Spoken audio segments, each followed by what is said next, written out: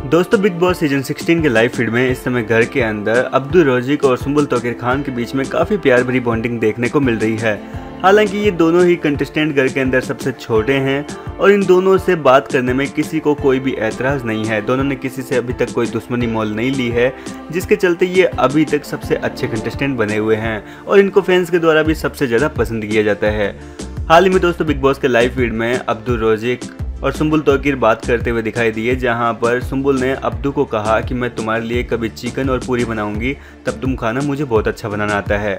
लेकिन यहाँ पर अब्दू ने स्पेशल डिमांड रख दी है और कहा कि मुझे तो फ़िश अच्छी लगती है, क्या आप मेरे लिए कभी फ़िश बनाएँगे? ये सुनकर सुम्बुल ने कहा कि मुझे फ़िश बनानी तो आती है, लेकिन मेरे पापा मुझसे भी अच्छी बनाते हैं। हालाँकि सुम्बुल को फ़िश खाने से एलर्जी है, जैसा कि वो बता रहे हैं। लेकिन इसके बावजूद उन्होंने अब्दुल के लिए कहा है कि जब भी फ़िश वगैरह आएगी तो वो अब्दू के लिए ज़रूर ऐसी चीज़ बना कर देंगे कि वो उंगलियाँ चाटते रह जाएँगे, जिसे सुनकर अब्दू भी खुशी से झूम उठे हैं।